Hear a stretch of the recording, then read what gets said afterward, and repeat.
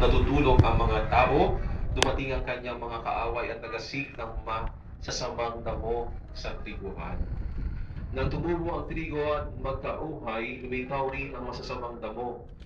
Kaya lumapit ang mga alipin sa puno ng sambahayan at sinabi rito, Hindi po ba mabuting bini ang iniasat ninyo sa inyong bukid? Bakit po may mga damo ngayon? Sumagot siya, Isang kaaway ang may kagagawa nito. Tinanong siya ng mga utusan, Bubulutin po ba namin ang mga iyon? Huwag sagot niya, baka mabunot pati trigo. Hayaan ninyong lumago kahapwa hanggang sa anihan. Pag-aani, sasabihin ko sa mga tagapag-ani. Tipunin muna ninyo ang mga damo at inyong pagbigkis-bigkisin upang sunugin at ang trigo'y inyong tipunin sa aking kamali. Ang mabuting balita ng ating kaligtasan. Yesu Cristo. Ah, pagsiupo po ang lahat. Nais ko lamang po na magtanong, sino po ba dito yung aware do sa balita tungkol sa mga obispo natin? At saka PCSO, taas ang kanang kamay. 1, 2, 3. Taas ang kanang kamay po.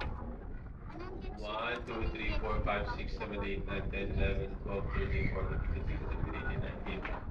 Okay, 19. So, halos almost kalahati na pero not really half. So, anong nabalitaan niyo sa mga obispo po, tatay?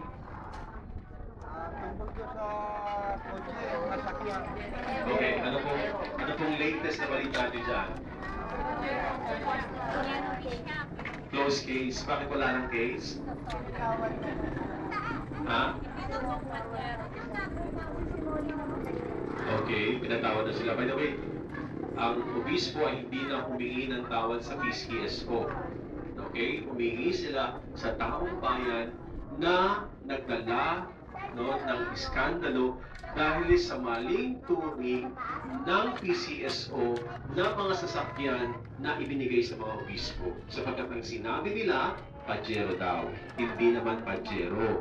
Sabi nga ni Miriam, no, mga 10 years na, ano, uh, 10 year old, 11 year old, 14 year old, uh, pick up truck, no?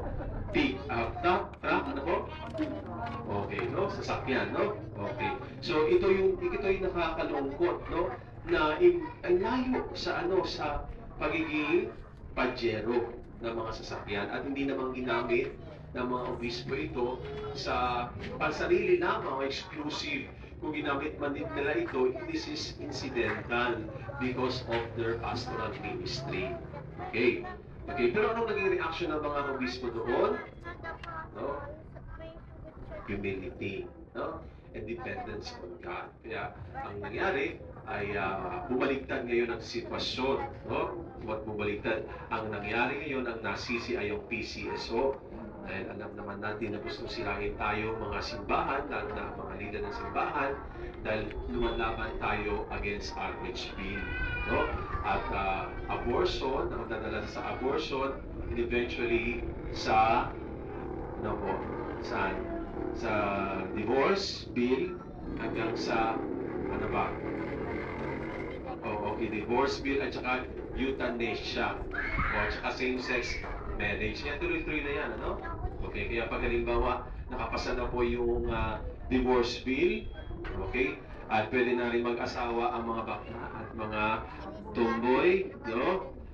Mga nanay, magandahan na na kayo. No? Malapit na kayong sintensyahan. Dahil sa euthanasia, ang mga matatanda dapat pinabatay. Uh, ganun mo yun talaga. No? Oo, huwag naman sanang luma- dumating yan. No? Kasi nga wala nang pakinabang ang mga matatanda, papatayin na. Pagkatapos patayin ng mga bata, ang mga matatanda na. Okay, no? So yan, sana naman wag po mangyari. Okay, balikan natin yung ibang medyo. Okay, no? So, by the way, this is not a funeral mass. This is mass for the dead. Okay? Itong misa na ito ay dapat alinsunod sa pagdiriwang ng liturhika sa ating sa araw na ito. Kaya ang babanggitin lang po natin ay patungo sa mga paliwanag sa salita ng Diyos. Pero ang biyayang matatanggap natin, sabay-sabay nating iniaalay, ay para sa kaluluwa ni Basilio. Okay? This is not a funeral mass. This is mass for the dead or for our departed loved one or Basilio. Okay. May mga tanong po sa atin, no? Kalooban minsan. No? Tayo nagtatanong minsan, sabi natin, bakit kaya hindi pa po ni Lord ang mga holdupper, ang mga kidnapper, ang mga pusher, no? Ang mga mamamatay tao, di ba? So bakit ganun daw, no? O bakit hindi sila dapuan ng kanser o malubhang sakit sa halip ng mga inosenteng tao? No, yan ang mga ano, no? Yun ang sinasabi natin, no? O sabi pa natin, bakit nga kaya hindi patamaan na lang ng kiglat sabay-sabay lahat ng mga magnanakaw at tiwali sa lipunan? Di ba? Okay, yung mga nasa gobyerno, no? O, lalo na yung sa nakaraang gobyerno ni ah, GMA. Kahit na rin po sa ilang gobyerno na nakaraang uh, gobyerno. Okay? At meron pang ibang mga pahabol na tanong. Bakit nga kaya masagana ang buhay ng mga taong gumagawa ng masama samantalang yung mga nagpapakatino ay naghihirap? Okay, no? At hindi lang yan. Tuloy, sabi nila, minsan ay natutukso na rin silang gumawa ng kabuktutan upang gu- guminhawa ang kanilang buhay. Di ba? Eh, Sino ba nagtanong ng mga ganyan? Sa inyo? Sino nagtanong? Wala? Wala nagtanong sa inyo? Ah, sigurado kayo, babait yun naman, mga dito. Hello. Kaya nagtanong pa kayo, tatay? Minsan na sa... Sabi niyo yan? Okay. Ka naman siguro sumusunod nasabi sa akin. natin yan, no? Usapan No? natin, naupo ka doon. bro. Alam niyo, minsan, yung ating Panginoon, ang Panginoon, napaka, napakagaling ng Panginoon, ano? Kasi minsan, na kako ako'y pare, no? Minsan nakakalimutan ko ako'y pare, no? Pero pinaalala sa akin ng ating Panginoon yan. na sabi ng ating Panginoon sa akin, kasi ganito yun. Noong, uh, ewan ko kung naikwento ko sa inyo to. Noon, galit na galit ako kay Imelda Marcos, alam niyo ba yun? No? Kasi nga dahil corrupt siya, di ba? Kaya naman daw naging corrupt si Marcos, eh, dahil kay Imelda Marcos, di ba? Yun. So galit na galit po ako sa kanya talaga. Ito ngayon sabi ni Lord sa akin siguro, hoy pari ka, huwag kang mag, mag huwag kang tumingin sa tao ng ganyan. Napatignan mo sila, no, na habang may buhay ay may pagkakataong magbago. Kaya minsan nag-best po ako dyan sa Makati ng isang food na chocolate store, mga imported chocolates na ang tinitinda. At ang guest of honor ay walang iba kundi si Imelda Marcos. No. Ito ngayon, siyempre, dead ma ako sa kanya dahil ayoko siya, di ba? Pero siyempre, very polite naman ako. Okay? Pagkatapos, siyang lumapit sa akin, ah, father, no? So you will be the one to bless, yes, madam. Siyempre, kinakailangan maging magalang ka rin, no? Dahil civil ang po approach sa'yo, you have to be civil also. Much to my much to my surprise, I was sitting there all alone, and there, and she was seated with some of the Chinese businessmen na nakikita ko minsan, no, talagang mayaman, no, billionaires, not just millionaires. And then she's, she, she noticed me all alone in my table. Sabi niya, Father, punta ka dito. You join with us. You join with our conversation. So she uh, she invited me. So I was seated there. No, she was seated, kaharap ko siya, and then isang mayaman, isang mayaman, no? And we had an exchange of conversation. And she was very kind. And then habang nagbe-bless kami, hindi ko naiintindihan yung mga mga punsoy-punsoy ng mga Chinese, sabi ni, ni Messi Imelda Marcos, parang, parang, alam niyo, pag, nakila, pag nakilala niyo siya, hindi siya yung sosyal, mataas, tingnan. Bakyang bakya siya. No, ibig sabihin yung, yung taong-tao. Ibig sabihin yung, di ba, di ba galing naman sa mahirap na ano, pamilya? So hindi siya ano, hindi siya ano tawag dito, hindi siya yung ah ah, mapamataas. No, although siguro ah, ah, because of her experience, nag, naging mapapakumbaba siya. Pero anyhow, may pagbabago.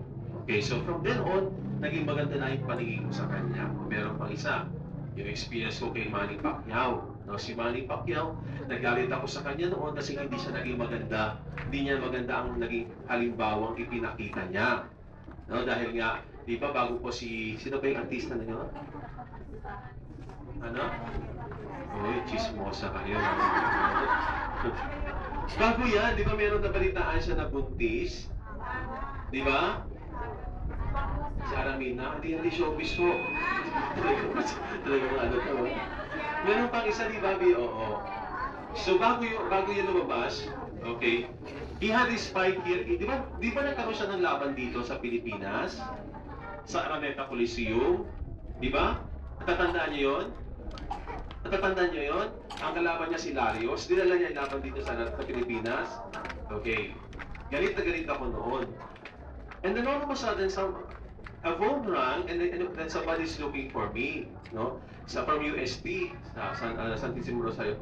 Uh, Father, this is uh, Atenida, no? Uh, somebody would like to talk to you. you. They would like to invite you because you are near to their place. No? Who is this? This is Buboy. Bu yung kanyang manager, yung, yung kanyang ano? Manager ko. Buboy Fernandez. Oo. This is Buboy Fernandez. O ano po yun? Sabi niya, ah, gusto mo namin magpamisa. Para ano? Kasi sabi ko, kasi para manalo. Hindi ho. Ano, ako tapos ako kayo matapang pa. nga. Para po lang maligtas siya sa laban. No?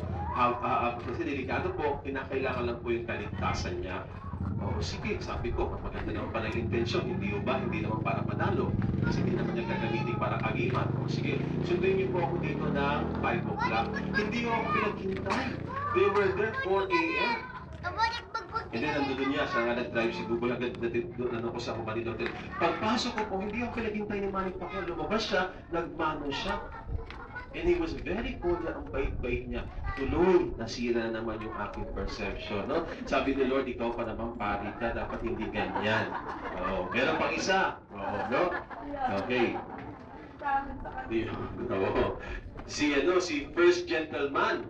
Oo, si First Gentleman Arroyo, no? Okay, no? Noong, ah, di ba na-hospital siya dyan sa St. Luke's? Di ba kapitbahay lang natin St. Luke's dyan? Okay. So, that was Saturday. Somebody called Father Edwin there last year. No. Alam niyo, di ba, na, ilang beses na hospital si, ano, si First Gentleman? Narinig ko, sabi ng mga tao, bakit hindi pa mamamatay-matay yan? Ako, ako rin, sabi ko, ako rin, oo nga, bakit di pa mamatay-matay yan? Sabi ko naman gano'n. Oo, oo, alam niyo, tatawagin sa akin, eh, no? Okay, sabi na naman ni Lord, ayan ka na naman, sige. Oo, no?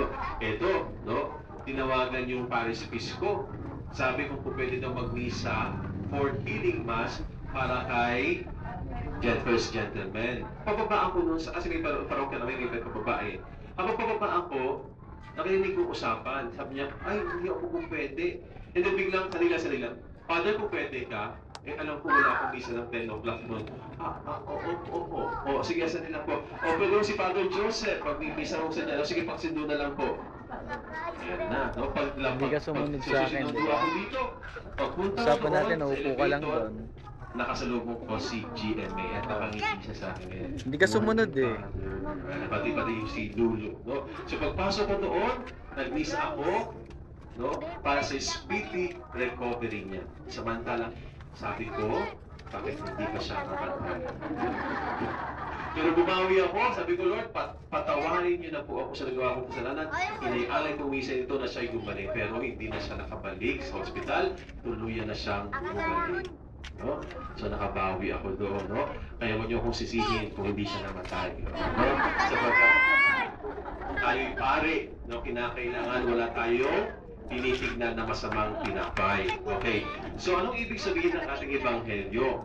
Okay. Yung ebanghelyo ay patungkol sa mga sinabi ko. Dito ba Na ito? bagaman may mga presensya ng mga tao na masama sa ating lugar, hindi ibig sabihin yan na hindi na sila hayaan ng Diyos na umikan. No? Ang araw ay sumisika maging sa mabuti o sa masamang tao. Ang ulan ay bumabagsak maging sa masama at mabuting tao. Okay? At kung tutusin, sabi nga sa unang ebanghelyo, ang ininasip na binhi ng ating Panginoon ay mabubuti. So tayong lahat ay mabubuti. Sabi nga ng isang philosopher, man is basically good. Amen? Okay? However, because of our choices, our free will, Alam mo ba, tayo po ay nagkasala. Okay, sino ba itong mga hold-upper, kidnapper, mamamatay tao? Di ba ito po yung mga makasalanang tao? Ito po ay nagkasala. Di ba ho? O, tayo ba ay nagkasala rin? Meron ba dito hindi nagkasala? Nasa kanan kamay sasabahin ko. Meron ba? Wala. Oo, lahat tayo ay nagkasala. So kung tayo po ay nagkasala, following that argument, bakit hindi pa kunin ni Lord? Eh, dapat lahat tayo kukunin na ni Lord. Di ba? Dahil tayo rin po ay nagkasala. So tamang-tama ang ginawa ng ating Panginoon na pasya. Ano yung pasya niya? Kasi sabi kanina ng ah, mga tao, actually mga anghel, sabi kanina, di ba? Okay, sabi, Gino, ah, kaya lumapit sa may-ari ang may kaya lumapit sa may-ari ang mga katulong at sinabi, Ginoo, hindi ba mapupunting buto ang inihasik mo sa inyong bukid? Saan galing ang mga damo? Eh, sinagot siya, kung ginawa ito ng kaaway. Meron siyang tanong ulit. Sinabi, sinabi at tinanong naman nila siya, gusto mo bang bulutin natin ang mga ito? Oo, papalagin. Ang Hindi, hindi, pero sa may ano may... Ano? Sabi po, at tinanong naman nila, gusto mo bang bulutin natin ang mga damo? Anong sinabi ng niya, niya sa kanila? Wag, wag. At baka sa pagbunot dito ninyo sa mga damo, eh mabunot pati ang trigo. Hayaan ninyo na sabay silang tumungo hanggang sa anihan. Hanggang sa anihan. Ibig sabihin, napakahaba ng pisi ng ating Panginoon upang tayo po ay magbago. Kaya nga napakaganda ng, ng panalangin dito sa pagsisisi natin. Ano? Sabi dito, ah, hindi mo binunot ang mga damo upang mabigyan kami ng pagkakataong magsisi at magbalik loob sa iyo. Kaya binibigyan tayo ng mahabang panahon. Di ba ang pag-aani mahaba? Kung kayo magsasaka, di ba mahaba ang panahon na ina, inaalay, ina, inilalaan nyo bago ang anihan? So ganun katindi ang haba ng bisyo ng ating Panginoon upang tayo na nagkasala ay magbalik loob sa Diyos. Di ba? Magbalik sa Diyos. Pero, meron po idinakda na anihan. Kaya pag tayo po ay inabutan ng anihan, May sa huli ang Hindi ba mo na lang? pagsisisi. No? At nakalulungkot sapagkat hindi na tayo mapapatawad sapagkat tumabot na tayo sa sukdulan na kung saan kinakailangan ng alisin ang mga tabo. Ang tanong, tayo ba'y mananatiling tabo o ano po, trigo. No? Okay, so yun ang hamon. Kaya ho, kung tayo po ay nakikipag sa lamuha sa ating kapwa, huwag natin silang tignan bilang isang makasalanan. Tignan natin sila, no? Sabihin natin, turo, sabihin natin sa Panginoon, turuan mo kami tumanggap sa aming kapwa. Okay? Alam nyo, tayo mga Katoliko ay hindi ho ordinaryong tao. Tandaan po natin yan. No? Tayo mga, sabihin nyo nga, kaming mga Katoliko ay hindi ordinaryong tao. Ulitin po natin, kaming mga Katoliko ay hindi ordinaryong tao. Sabihin nyo sa akin, bakit? Okay, ganito yun. Okay. Marami kasi nagsasabi, ah, mga reaksyon nila, pag nakakama sila, tao lang, tao lang po. Di ba nga? Tao lang po. Di ba? May mga ganyan, tao lang. Di ba? May mas pakakasal ka eh. Tao lang, tao lang. Di ba? Mga ganun pa reaksyon nila, di ba? Tao lang, di ba? Parang, parang, parang ganun parati. Ginagamit natin lisensya itong pagiging tao natin. Oo, gigan yan. Tayo po ay tao. Kung ganun ang pagtingin natin, we are only distinguishing ourselves from animals. Tayo ang animal is animal beings, we are human beings. Pero sa pagiging tao natin, tayo tinawag ng ating Panginoon ibinukod upang tayo po ay maging katulad niya. No? Nang tayo po ay mabinyagan, tayo na ibukod upang maging Kristiyano, maging Katoliko. Kaya dapat lamang na sundin natin o maging katulad tayo ng sinusundan natin na walang iba kundi si Kristo. Okay, paano ba yung maging Kristiyano? Kunyari lang, ano? Kunyari lang, ano? no? Okay, example, si, si Nanay A, si Nanay B, si Nanay C. Okay, okay. Halimbawa, no? Si Nanay A, kaibigan niya si Nanay C. Tama ba yun? Okay. Kaibigan din si Nanay B. Ito ngayon si Nanay B. Si Nanay B, pumunta kay Nanay C, sinabi niya, no, na marami daw sinasabi masama si Nanay C kay Nanay A. No, sinabi ni Nanay Nanay.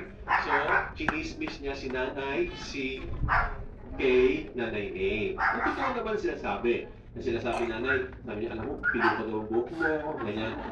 Mosquito daw ang ngipin mo, ano? Pagkatapos, uh, maitim daw ang kilikili mo, mga ganyan, ano? Okay. So, maano naman mo, pinari totoo.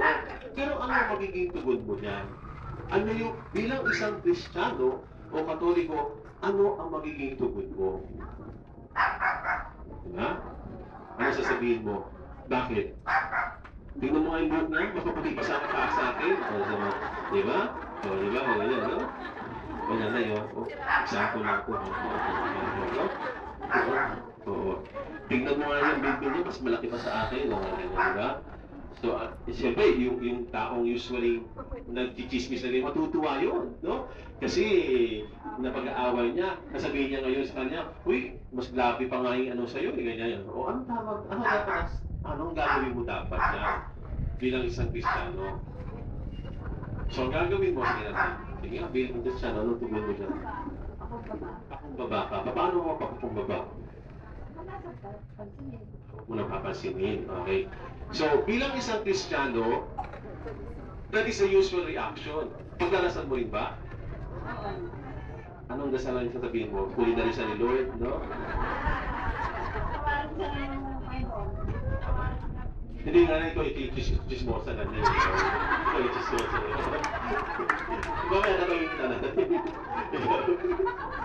Ano, ano, ano, ano, ano? Ano, ano, ano? Ano, ano? Okay, usually pag sasabi natin, bahala na ang Diyos sa Kanya. Pag sinabi mo, bahala na ang Diyos sa Kanya, ano ibig sabihin natin yan? Di ba igaganti tayo ng Diyos sa Kanya? Hindi ganun. Kaya pag you, tumahimik ka muna sa saglit at magdasal ka.